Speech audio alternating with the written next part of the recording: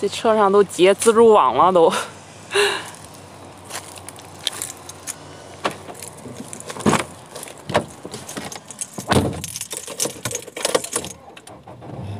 哇，我都特别担心，我回去以后就一直担心，我回来以后我的车能不能打着，还挺给力的，一下就着了，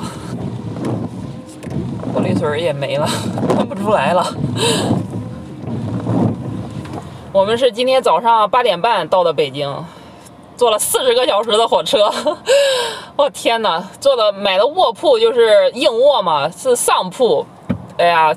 挺难受的，坐的，因为平时我们也很少坐火车，这一次真的坐的，坐的不想再坐了。以后 躺躺，要么就得躺那儿，要么就得下来，头都直不起来，在那个卧铺上。然后到了以后就睡了一觉嘛，睡了一觉起来以后觉得还是晕，就是你在地上走着都觉都觉得一直都是在火车上那种就是晃荡那种感觉。然后起来以后，我比较担心我的车能不能打着火，还可以吧，就是一把就打着了。大众神车，不愧是神车哈！因为在火车上一直没有信号，所以这两天我也没发视频，想发也发不出去，就是一直到太原那边才有信号。呃，就是之前有朋友说让我算一下花了多少钱，就是可以做个参考。然后我们在火车上也没事嘛，就大概的算了一下。呃，我们这趟出去一共一共应该是十三天吧，应该是，就是算了一下，大概花了八千块钱左右。具体多少钱，这个其实算不出来，只能算个大概。嗯，最主要的这个钱呢，就是花到这个路费上去了，因为来回去嘛，来回跑折腾了都。我们是先从北京坐飞机去的兰州，就想去兰州尝尝当地的那个兰州的拉面嘛。然后确实挺好吃的。后来在兰州又坐火车去的西宁，兰州离西宁特别近，两个半小时就到了，还是值得先去一趟兰州的。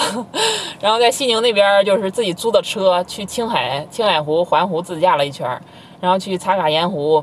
我觉得去去这么多地方就是。去青海湖对我的印象特别深，我觉得特别好，也可能是去的第一个第一个湖吧，挺好的。而且赶上我们去的时候下雨，然后走着走着就是晴天了那种，这个过程特别好。嗯，茶卡盐湖也挺好的，啊，就是就是得注意防晒，晒得特别厉害。我我老公跟我们家孩子就这一块儿，就这个就这个鼻子还有脸这一块儿晒得都脱皮了，一定得注意防晒。嗯，然后在青海湖那边待了三天吧。又回西宁坐的火车，坐火车去那个拉萨那边，坐了二十一个小时的火车。嗯，到拉萨那边，因为我老公高反，我们就没有去周边转悠，就在市里头待了几天。然后后来孩子就通知开学了嘛，就回来了。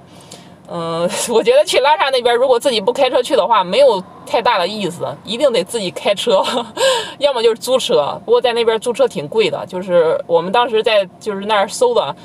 嗯，最普通的车就是最次的那种轿车，租的话就四百起步，也不知道是不是跟这个季节的原因嘛，因为快十一了嘛，应该是租车的旺季，嗯，所以最好是自驾去拉萨那边，想去哪儿去哪儿，要不然出门的话不方便，那边打车贵，而且就是周边的景点离得都特别远，你要想去什么纳木错呀，去羊湖呀，离得都挺挺远的，不开车的话真的没意思。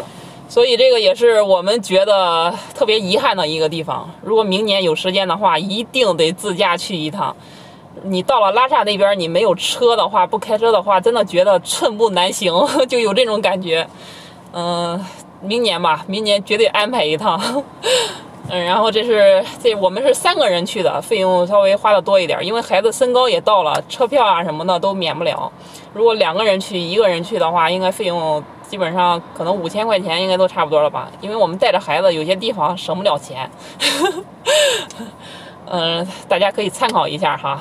嗯我觉得值得去的，觉得还是青海湖吧。我对我的印象特别深，我觉得看到第一眼了以后，觉得真的太好了。好吧，今天就给大家分享到这儿了哈，明天。待会儿看看孩子的这个上学流程怎么弄，应该如果没啥事儿的话，明明天可能要给你们抢单了啊。好吧，今天就分享到这儿了哈，拜拜。